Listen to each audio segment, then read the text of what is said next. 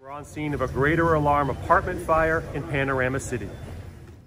We arrived on scene to find moderate smoke coming from a large apartment building that was three floors of residential units over ground level parking residents had actually pulled out several on site fire hoses out of the occupant use hose cabinets in the hallways, which are just part of the building's fire protection system, and stretched them across the courtyard in an attempt to put out the fire. Our firefighters were met with a densely occupied 200 unit apartment building with hundreds of people inside, and we immediately went into an aggressive fire attack and set up for medical needs.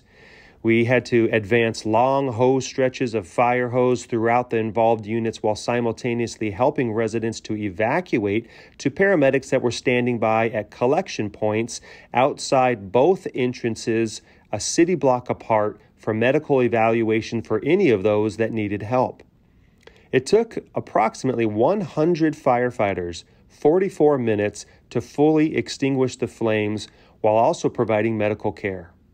A total of 11 patients were treated on scene, and five of those were transported to local hospitals. One transported patient was in serious condition, and the other four were in fair to moderate condition.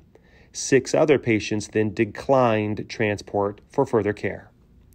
A total of nine apartment units were damaged, and those nine families will be temporarily displaced. So we quickly began working with the American Red Cross to assist those displaced families. And firefighters on scene are escorting those residents back into their damaged units to retrieve their important personal belongings.